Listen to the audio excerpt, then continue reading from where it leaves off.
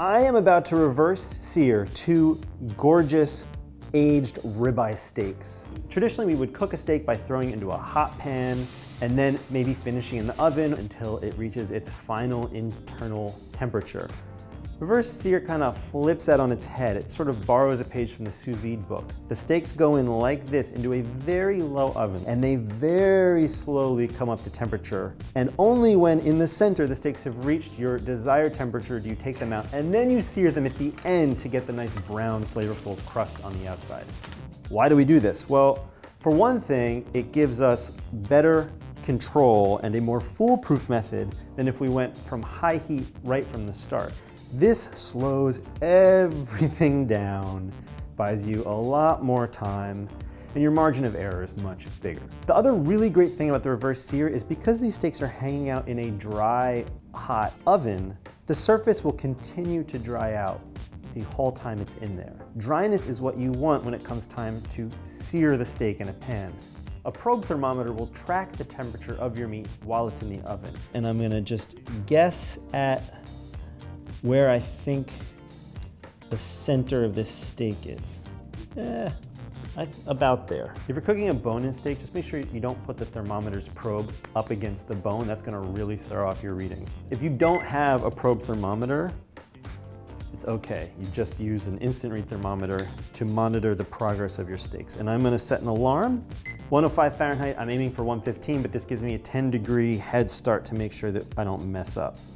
Ah, Ah, it's time to put the beef in the oven and let it do its thing.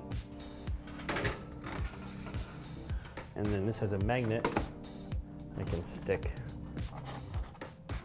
It's reading 49 degrees Fahrenheit on the nose. The other one's a little bit warmer, 53.3 degrees Fahrenheit. And I have an instant read thermometer that I will use to confirm what these probe thermometers are telling me by taking a few other readings in a few other parts of the steaks just to make sure that I've got it right.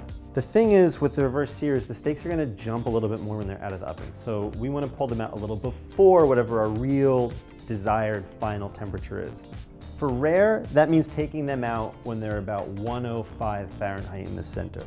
For medium rare, that means pulling them from the oven when they're about 115 degrees Fahrenheit in the center. And for medium, 125, et cetera, et cetera.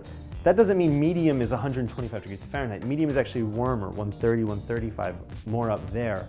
But that's gonna happen in the pan when they come out of the oven. Sometimes it's slowest at the beginning and you think you get a sense in your head of what the rate of cooking is starts speeding up. I think it does. I've never tested that empirically. I'm pretty sure it starts speeding up. That's been my experience. Keep it, keep an eye on your meat. Any second, that alarm is gonna sound. My steaks are right at 115 or just a hair shy of it, and I've already got my cast iron pan preheating. I'm actually gonna crank the heat now.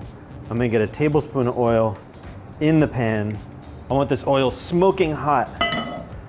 My goal here is to preserve that kind of perfect doneness in the center of the steak. So I really want to get the sear on this meat as quickly as I can so that I don't start overcooking the exterior. That, and the whole point of this method is to have a nice even doneness gradient. So I really don't want to do anything that's going to work against that. Uh-huh. Now, these are not particularly beautiful at the moment. They look like sad gray hunks of beef. That's why we're gonna sear them now. I'm gonna add a little butter to the pan for more flavor, but you don't have to. I'm also going to add a thyme sprig and some garlic to the pan to quickly get some more flavor into the fat in the pan. Also that you don't have to do, that's all optional, but it's, it's a nice touch if you can do it. In we go, steak, butter, garlic, thyme, swirl that around, press it down, make sure the steak is making full contact with the pan so you don't end up with a a little raised portion that didn't get brown enough. 45 seconds, a minute, really as quick as you can. Any longer and you might as well have just been butter basting in the pan the whole time because you'll start to get that doneness gradient. I'm gonna flip it. There you go. Sear the edge. See that how that's nice and brown there now? Look good? Kill the heat. Now reverse sear doesn't really need to rest. It's so low and slow coming up to temperature that you don't have the same issues when you're doing a high heat method of, of giving the steak a chance to reabsorb juices. You basically can cut into it whenever you're ready.